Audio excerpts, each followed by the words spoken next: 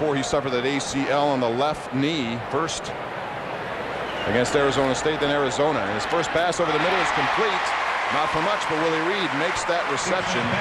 It's funny, as a junior, he really struggled, bogged down in an offense. Uh, they changed coordinators. Chip Kelly came on, and he had an unbelievable season as a senior. 20 touchdowns, only four interceptions. Quick release there. That's what you want to have him do. Very quick, quick read, get rid of the ball.